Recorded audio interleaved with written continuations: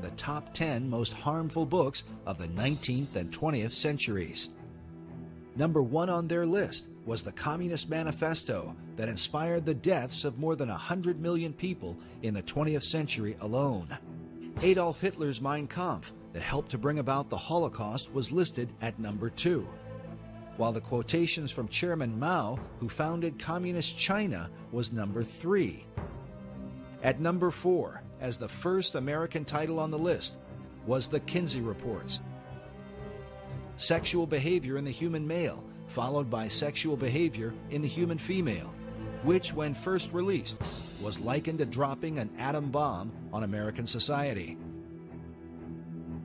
In 1989, a report from the National Research Council published a statement that American society can be divided into two categories the pre Kinsey and post Kinsey eras.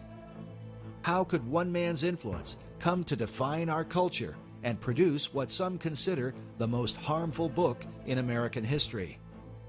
It would find its way into every aspect of our decision making in our lives. Dr. Judith Reisman is renowned for her expertise on the damaging influence of pornography. She has testified repeatedly before the U.S. Congress. Her research has been used by the FBI and by governments throughout the Western world when determining their policies on obscenity.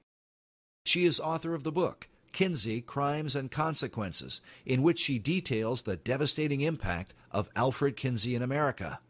An influence she believes is behind the growing number of sexual predators who seem to come from all walks of life.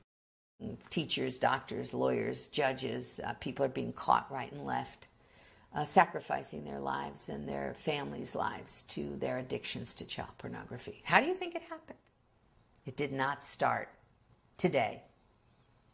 It started back, back with Kinsey, and who then kicked off what has become today's uh, today's horror show.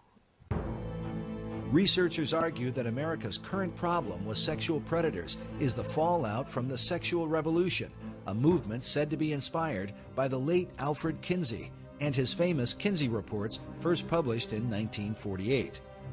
According to the conservative organization Human Events, the Kinsey Report is listed among the top 10 most harmful books of the 19th and 20th centuries. Mass media seems to have always been on the side of Kinsey and his philosophy. A philosophy carried out by Hugh Hefner in 1953 when he launched Playboy magazine. That same year, Kinsey released his K Bomb Sexual Behavior in the Human Female, the second book in his report on human sexuality. Hefner made an immediate association between his soft porn magazine and Kinsey's research.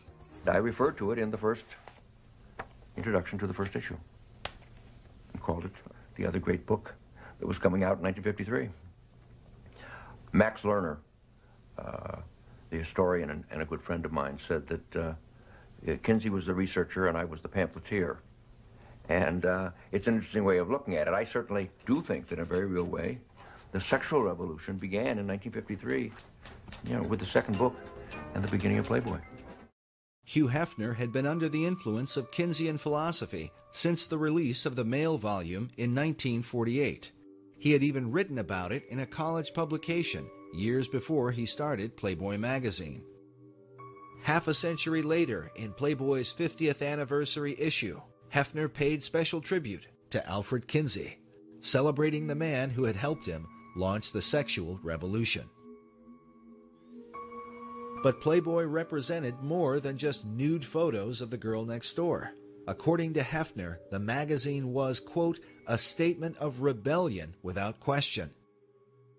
The first official Playboy Playmate was named Janet Pilgrim, directly intended to mock America's Puritan heritage.